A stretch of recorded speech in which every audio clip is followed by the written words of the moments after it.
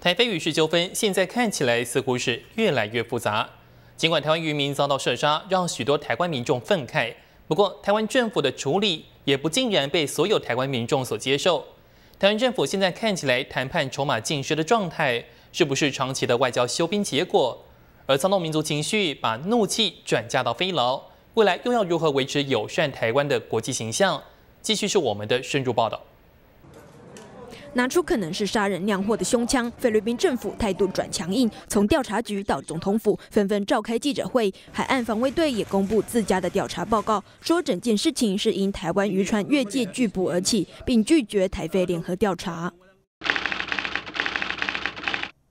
台湾调查小组付费调查吃了闭门羹。台湾网友也发现，国际各大报纸直接引用菲律宾英文新闻说法，让台湾在国际舆论上暂居下风。台湾外交部下午才想到紧急召开国际记者会，向国际媒体挽回颜面。失措的外交谈判技巧，难道来自于台湾政府的长期外交休兵政策？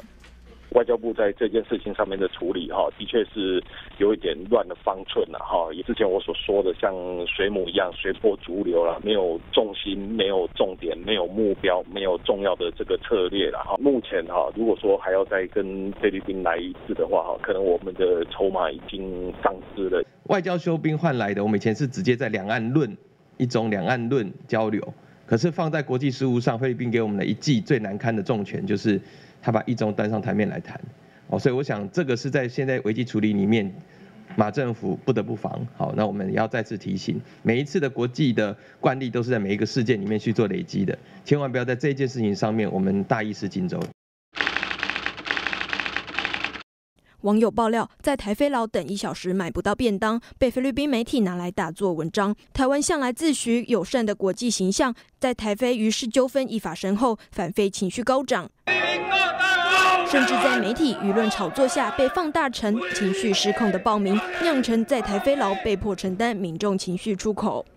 我们政府也应该要对在台湾对我们友好的这菲律宾人民啊，来给他们一些鼓励啊。好打气，也应该要施施出一些善意嘛，哈，那这样才展现出我们是一个